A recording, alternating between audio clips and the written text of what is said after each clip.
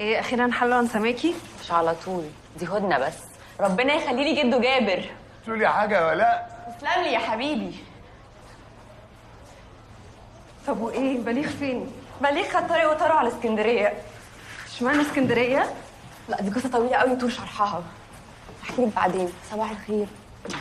انت مش هتحكي لي إيه النظام مع طارق؟ تقولي حاجة يا ياسمين لا يا حبيبي.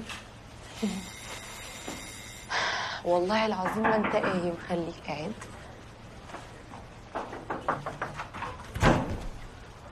مساء الخير مساء النور. آه، أستاذ جابر موجود؟ آه اتفضلي. شكرا. أهلا يا فريدة أهلا اتفضلي. ازيك يا عم جابر؟ أهلا أهلا يا بنتي. إيه ده مش انتي؟ طب يا لولا هسبقك أنا بره. استناكي بره. nice to meet you استنيني يا جبانة. في في.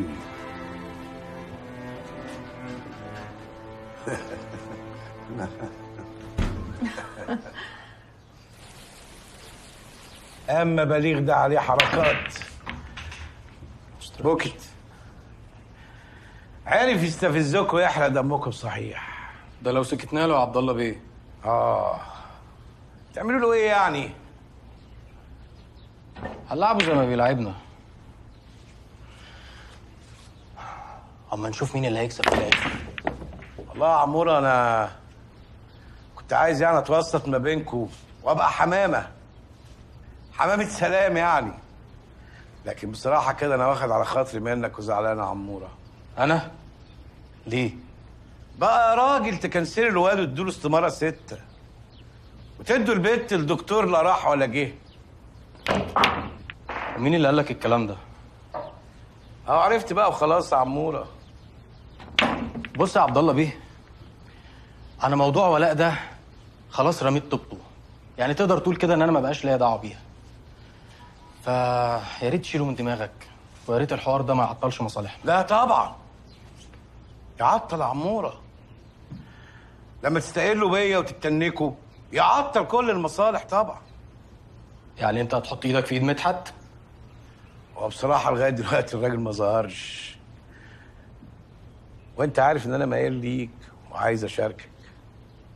بس بصراحة أنت بطة. بطة بلد يا عمورة. يعني أنا حمامة وأنت بطة. قلت يا عمورة هتساعدني ولا إيه؟ بص يا عبد الله بيه أي حاجة الا حوار ولاء وأنا رقبتي ليك. أي حاجة أي حاجة. خلي بالك الذكر بيتربط من لسانه. بقول لك رقبتي. خلاص. ما دام هنبقى شركاء لازم يبقى زيتنا في ايدينا أنا عايزك تطلب من شريفه هانم والدتك إنها تقبل عبد الله أبوك. قلت إيه؟ قلت إيه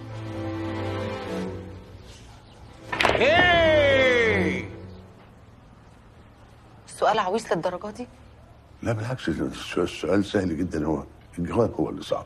يبقى انت مش عايز تجرحني وتقولي الحقيقة ان بليغ عمره ما حبني. لا لا أنا ما قلتش كده خالص. مش قصدي. يا عم جابر أنا جاية لك مخصوص عشان عارفة إن بليغ عمره ما خبى عليك حاجة. بليغ بيحبني ولا لأ؟ سهلة. هو في الحقيقة ما ينفعش أي حد ع- عن لسان الغير مهما كانت درجة القرب منه. آه، عايزة تعرفي الحقيقة تعرفيها منه هو. يعني هو ما صرحكش بحاجة؟ في الحقيقة إذا كان ده سؤالك فأنا عايز أقول لك إنه قبل ما يسافر كان بيتكلم معايا. وبعد ما رجع من السفر برضه كان بيتكلم معايا. وكان كلامه بيقول إن إن في يعني مشاعر. أنا آه، انطباعي إنها مشاعر حب. إنما أنا ما ينفعش أتكلم عن انطباعي. أنا لازم تساليه وهو اللي يقول. أسأله إيه بس؟ ما أنت عارفه. ما أنا كل ما أسأله بيقعد يتوهني كده. ما مش بفهم منه حاجة بيقول كلام مبهم.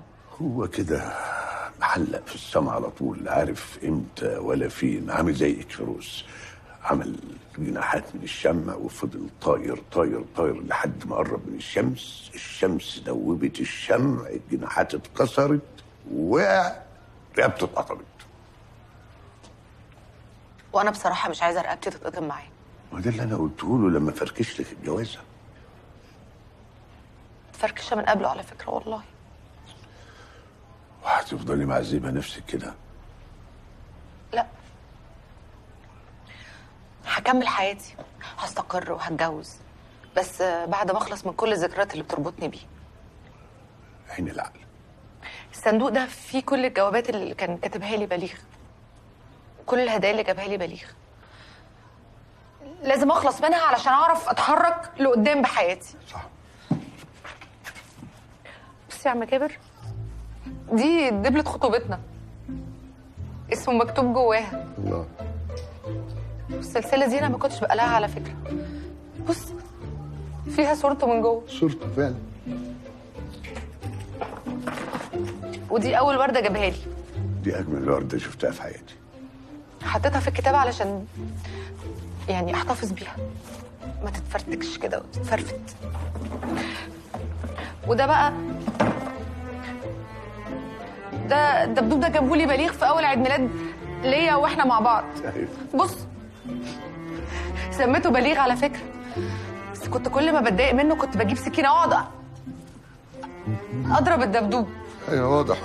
بقطع فيه كله. بعدين كان بيصعب عليا فبرجع أخيطه تاني. أنا متقطع من كل حتة يا بنتي. يا حبيبي يا بديع آه، قصدي يا حبيبي يا دكتور أنا عايزاك تاخد الحاجات دي. خلاص مش عايزاها.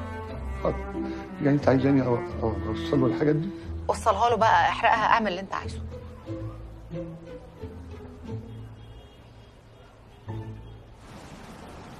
ما قلتوليش. عرفتوا طريق منين يا بهوات اللي يسأل ما يتوهش واضح إن اللي عايزينه عندك. اللي هو إيه؟ الحقيقة. حقيقة اللي حصل لأبويا وعمي لما كنت سايق بيهم. من غير لف ودوران. في سر أنت ما قلتوش. يعني أنتوا محدش بعتكم ورايا عشان يوقعني في الكلام؟ حد زي مين؟ لو السؤال ده لوحده؟ توقع في الكلام؟ طب أنا هقول لك قبلها في حد عارف إن عندك السر؟ بس صدقني أنا ما أعرفوش. أصل الحكاية معقدة. ماشي ماشي حلو. يبقى نبتدي من الأول. ليلة الحادثة. ما تحكي يا ابني. ما هي النيابة مفرغة كاميرات المراقبة وكلنا شفناها. عادي اتجننت انت ولا إيه؟ انت يا أستاذ أمين؟ يا أمين بيه؟ يا أمين باشا. في إيه يا خطيب؟ في إيه؟ دي طريقة تقتحم بيها مكتبي وشركتي بتحرجني قدام الموظفين بتوعي. عيب على الأقل احترم أخوك الكبير. الكبير مش بالكلام يا أمين الكبير بعمايله واللي انت عملته ده لا له دعوة لا بالأخوة ولا بالأصول ده اسمه غدر وخيانة ليه ده يا فطير؟ اقعد اقعد اقعد استريح. اقعد عاوزين نتكلم مع بعض كده بهدوء وبأسلوب متحضر إيه؟ يا سيدي أنا متخلف واهمكي مش متحضر زي حضرتك. بس عمري ما اضرب اخويا من ظهره وأروح من وراه اتفق مع ناس ينزلوا قصاده المزاد عشان يشعللوا البيعة ويخسرها. ما حصلش. افهم. نصيحة مني ليك. ما تديش ودنك لابنك ومراتك عيب مراتي وابني بره الموضوع يا أمين. وشريفه مراتي ما هيش يسريه مراتك اللي بتخطط لك وتحرضك. وأمارة التوكيل الأمريكاني اللي اتضرب وخدتوا بيه شركة SM Corporation بتاعتي؟ آه. يعني انت فاكر ان أنا خدت منك التوكيل فبتردها لي في المزاد بقى؟ ما حصلش يا أخي قلت لك ما حصلش. ده الكلام اللي قالته شريفة هانم مراتك لعم جابر في التليفون. وهي هتجيبه من دماغها يعني؟ أنا مش عرفتني خلاص إحنا فيها. تنزل معايا دلوقتي ونواجههم. شريفة ويسرية وعمك جابر. ونشوف مين فينا المحقوق قدامهم كلهم. هتيجي ولا تهرب برضه من المواجهه زي عادتك؟ ما انت ما اتعودتش على شغل الدغري. أنا ما بهربش من المواجهة يا أمل! خلي السواق يجهز العربية دلوقتي حالا ها تركب معايا عربيتي ولا تستأذن الهانم الأول؟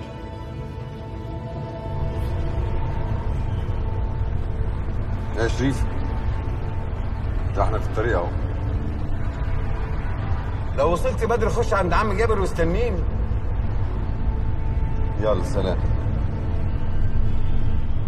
إيه ما تقدرش تتحرك مترين غير لما تستأذن الهانم مش كده؟ وبعدين بقى هي الحقيقة دايما بتوجع.